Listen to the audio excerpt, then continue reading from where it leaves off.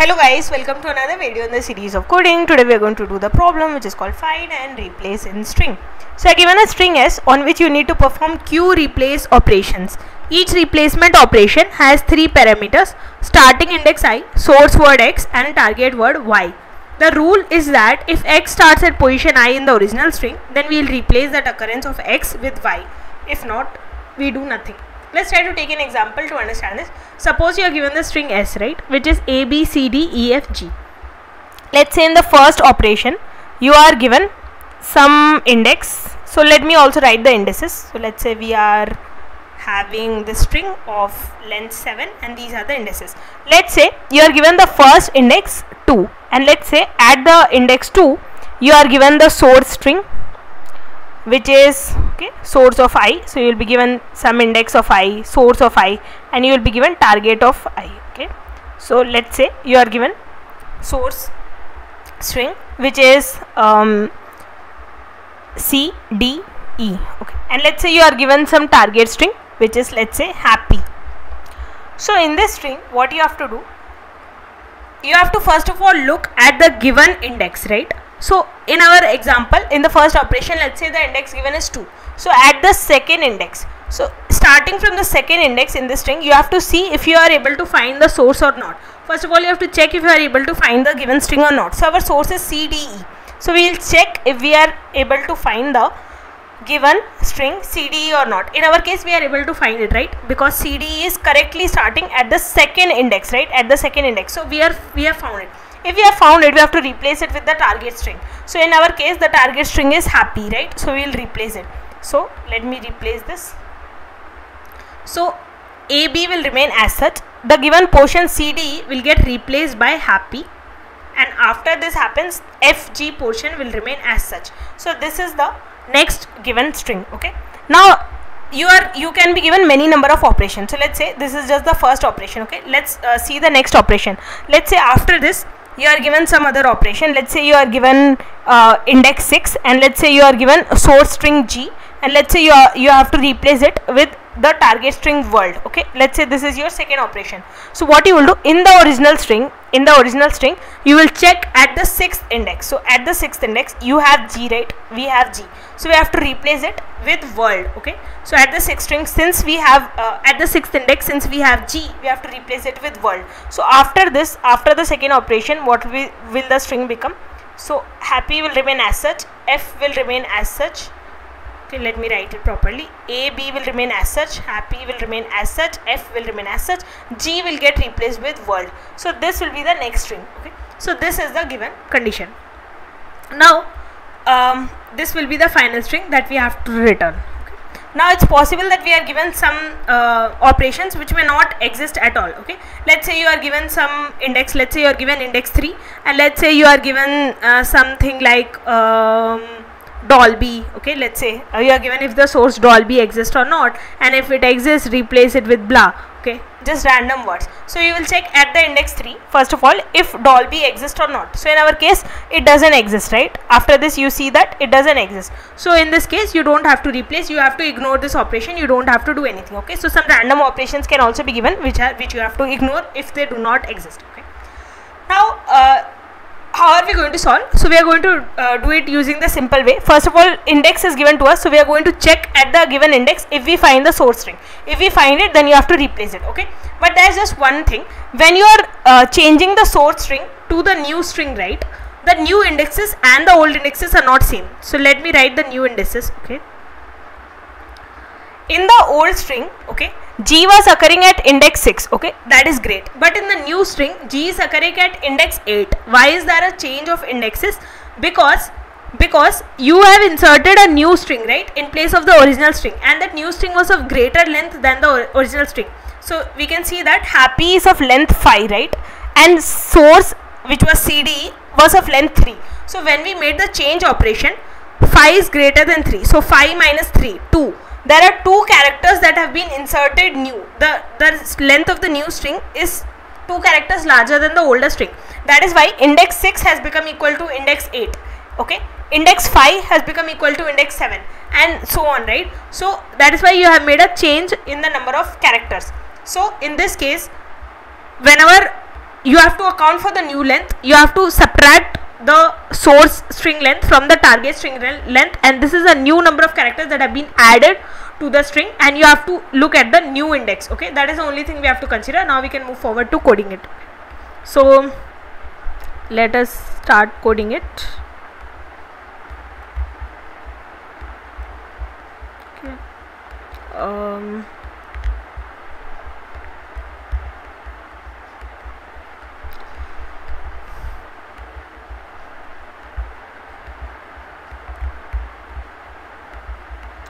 let's start coding it. So uh, we have the string okay? We have the string. Uh, let's say uh, we have the string s. Now i want to uh, change the string s right? Finally i'm going to return s but i'm going to uh, make changes in that right? So i'm going to make a copy of s and i'm going to call that as original and i'm going to um, uh, keep the original string same as the string s which I received but I'm going to change my string s. So whenever I make a change it's going to change in the string s. And finally I can return s with the all the new changes that we have included okay so what we are going to do we are going to iterate for all the uh, q operations right? So for int i equal to 0 i less than q i plus plus right? We are going to iterate. Now what is our aim? Our aim is to find if at the given index the source exists or not right? That is a simple aim. So we are going to check right at index of i right? At index of i if the source exists or not this is our aim. So we are going to use the find function in the original string. That's why we needed the original string. So in the original string i am going to find if my source of i which is my uh, string if that exists or not right? So let me give auto. Let's give a variable found is equal to original dot find sources of i.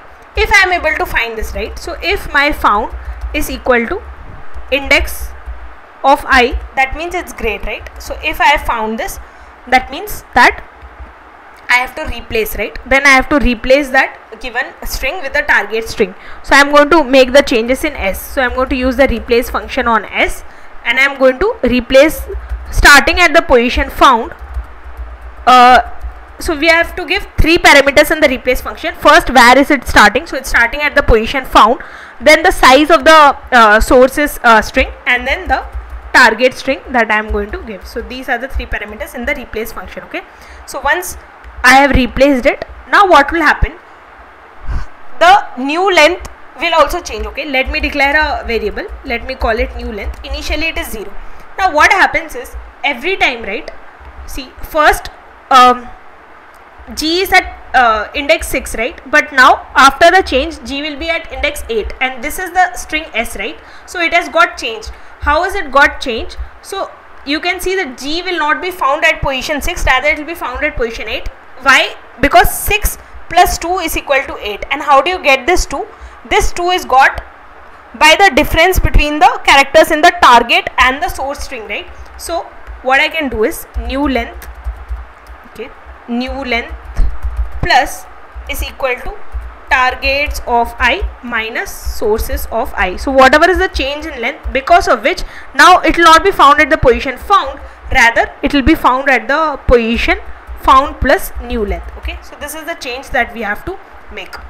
Now uh, what um, else we have to do right to make this code work is see uh, this will work not for all test cases because the find function find function is only going to uh, return the occurrence of the first given um, um, place where you find the string right? For example okay let me take one example. Let's say you have hello her hey something like this okay? And let's say you want to find the occurrence of he okay? So what your find function is going to do it's just going to return 0 but let's say you are looking for her okay? Let's say you are looking for her. Or let's say you are looking for he itself okay? Let me not confuse. Let's say you are looking for he itself. So it is just going to return 0 because we can see that he is starting from 0 okay? But let's say in my given queries i am given whether he is starting at index 5 or not okay? Now obviously he is also starting at index 5 but when you use the find function this will only check for index 0 and it will never enter into this case. So we will never make the replacement at all. So we have to give a while loop so that we check for the all the occurrences of the given function. So we have to give while okay while found not equal to string npos right? We will keep running this while loop and we will keep finding all the occurrences of of the given string okay? And how will you change the next occurrence? So again we will reinitialize found and this time I'll make the copy here. So to find the next occurrence in the find function itself I can simply give found plus 1 okay? So that's it. And by the way in the new length I have to give dot size which I forgot so I'll just quickly give dot size okay? Now this code is going to work and finally I can return s okay? So let let me compile and run and let's see if it's working for all the test cases